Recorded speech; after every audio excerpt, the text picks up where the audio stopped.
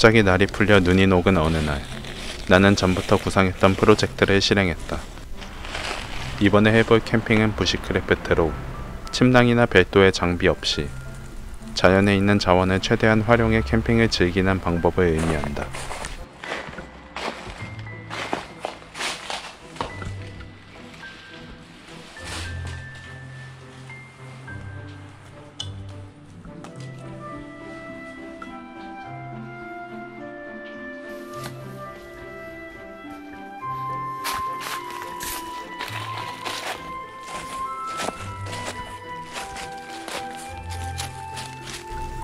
첫 번째 박제 포인트.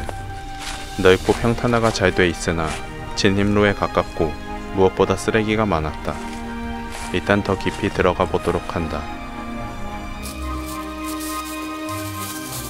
해빙기라 그런지 낙엽 아래 토양은 진흙처럼 물렀고 나는 자동으로 내려가졌다. 오히려 좋았다.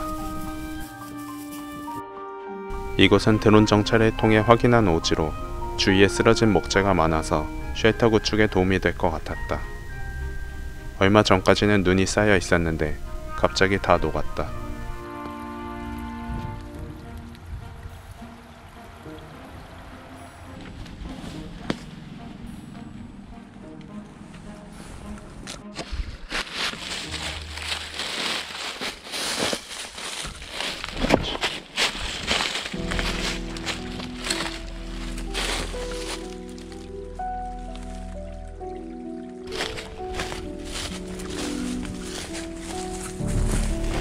두 번째 박제 포인트.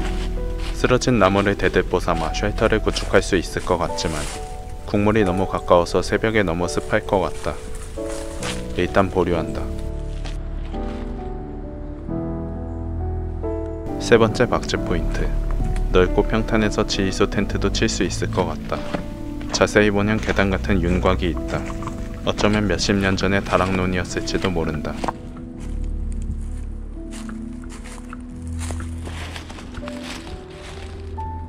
전깃줄 호모사피엔스의 흔적 발견 뭔가 비밀기지라도 있는 것일까?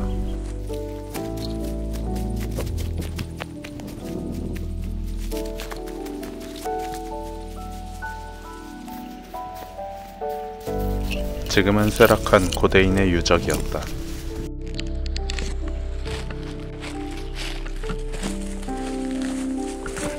골짜기 안쪽에는 생각보다 규모 있는 국물이 있었다. 여름에 한번 와봐야겠다.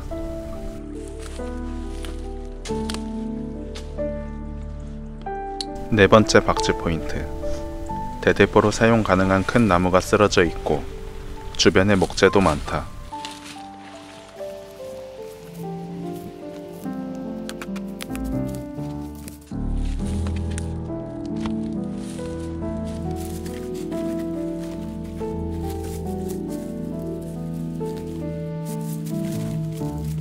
무엇보다 양지 바른 자리여서 땅이 잘 말라 있었다.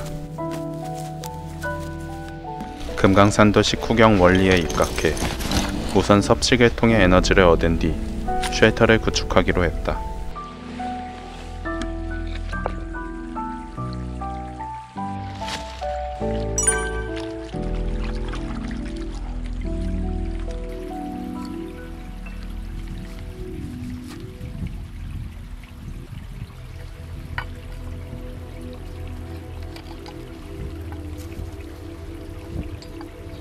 오늘 챙겨온 식량은 쇠고기죽, 삶은 계란도 숨겨왔다.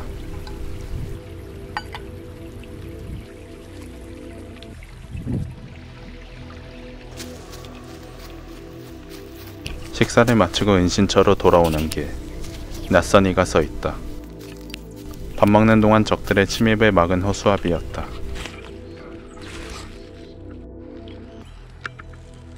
한방에서 상표초라 불리는 사마귀 알집. 저그 건물같이 생겼기 때문에 신장에 좋다.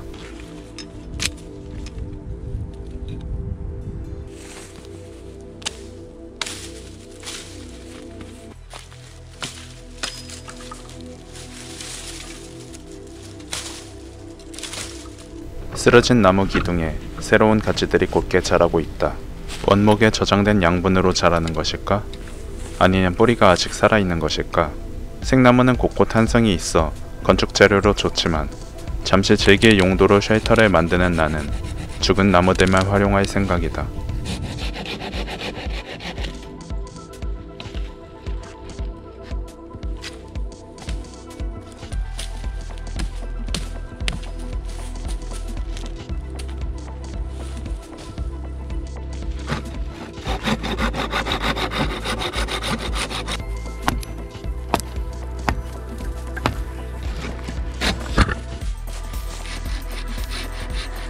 톱질을 하다 보니 어느 순간 가지는 자동으로 떨어져 나간다. 전문 용어로는 팩이라고 한다. 나무 팩이.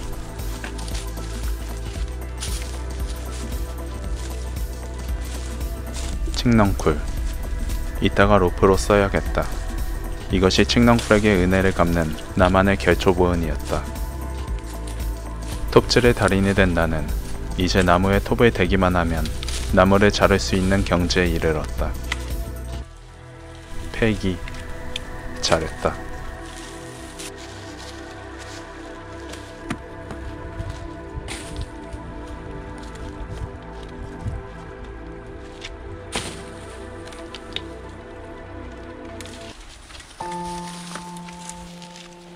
목재의 양은 적지만 규격화된 강목과 달리 모양이 제각각이라 한 번에 여러 개 대기가 생각보다 힘이 든다. 그래도 나는 규격화되지 않은 인재가 세상을 변화시킨다고 믿는다. 한 번에 못해도 좋다. 여러 번 하면 된다.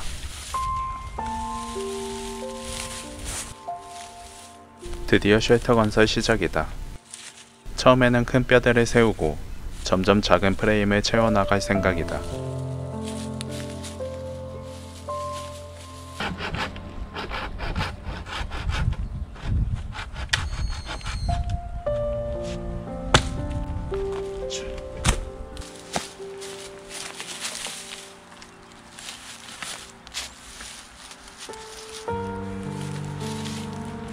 근데 막상 작업을 시작하니 손에 잡히는 대로 하게 되었다. 역시 작전대로 되는 전쟁은 없다.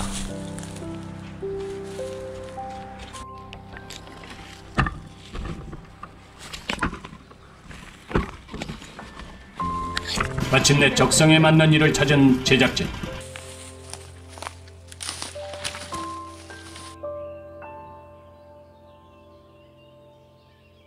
이것으로 달팽이 기사단 bushcraft 도전 1편을 마친다.